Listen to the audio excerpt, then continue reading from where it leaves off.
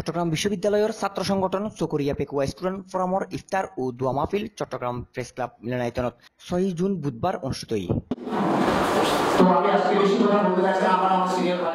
মোহাম্মদ মিজানুর রহমানের সভাপতিত্বে ও আমানুল্লাহ আমানের পরিচালনাত এটা প্রধান অতিথি আছিল চকরিয়া সমিতি চট্টগ্রামের সভাপতি লায়ন কামরুদ্দিন আহমদ। আলোচকর মধ্যে আছিল চট্টগ্রাম স্টক এক্সচেঞ্জের এজিএম আরিফ আহমদ। মিডিয়া ব্যক্তিত্ব Iqbal Haider, voice of humanity বাংলাদেশের সভাপতি ও প্রতিষ্ঠাতা এম এ হাসান অত্র ফোরামর প্রতিষ্ঠাতা সভাপতি সাইদুর রহমান মিন্টু সহ বর্তমান ও সাবেক নেতৃবৃন্দ আর সগরিয়া যেগুন ফুয়াইনসাইন আছে পরে বেয়াগুন্দর বার্ষিক এক প্রকার মিলন মেলা।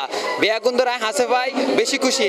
আয় বিশেষ করে ধন্যবাদ জানাই আর সগরিয়া সমিতি সভাপতি লায়ন কোমরদ্দিন ভাইরে আরও ধন্যবাদ জানাই আর যারা বড় ভাই লাগছে আর সাথে সহযোগিতা বেয়াগুন্দরে সক্রিয় ফেকু স্টুডেন্ট ফোরাম প্রাণর মেলা হিসেবে আজ ইফতার মাহফিলের আয়োজন করি আজ আর ইফতার মাহফিলের মাধ্যমে সক্রিয় ফেকুয়ার সাধারণ চট্টগ্রাম বিশ্ববিদ্যালয় অধ্যয়নরত সাধারণ শিক্ষার্থী যারা আছিল বিয়াগুন আজি আসে এডে।